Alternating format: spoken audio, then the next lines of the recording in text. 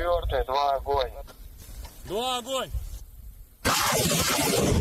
الحرب التي أنهت شهرها السادس عشر في أوكرانيا لا تبدو قريبة من خط النهاية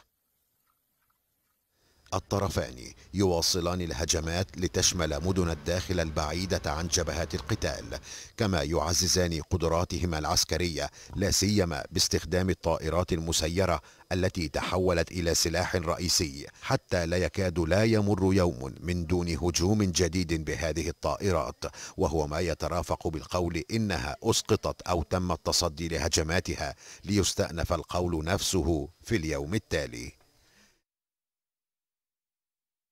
نائب رئيس مجلس الأمن الروسي ديمتري ميدفيديف قال إن الحرب لن تتوقف قبل تفكيك أوكرانيا الحالية كدولة حتى وإن استغرق الأمر سنوات أو عقود.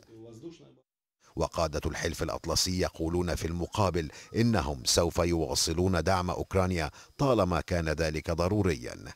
ميدفيديف رسم صورة بالأسود والأبيض قائلا إنه لا خيار أمام بلاده فإما تدمير نظام كييف أو سينتهي الأمر بتمزيق روسيا.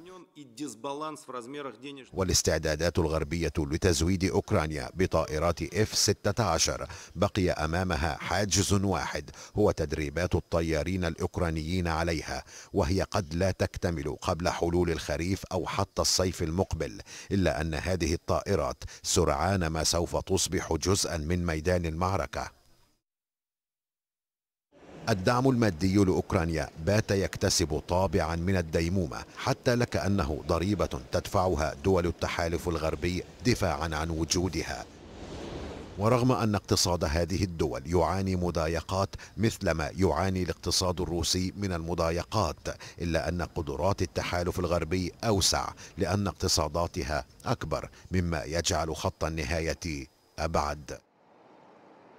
إطالة أمد الحرب لتكون حرب استنزاف كانت واحدة من خياراتها الأولى وإذ أنها كذلك فإن الحرب على جبهتي المعدات العسكرية والتمويلات تبدو حربا تدور على الجبهات وفي دفاتر الحسابات. الأولى تحصي عدد القتلى والجرحى والثانية تحصي حجم الناتج الإجمالي وقدرات المصانع على توفير الذخيرة وذلك حتى يتضح الأبيض من الأسود في الصورة التي رسمها ميدفيديف.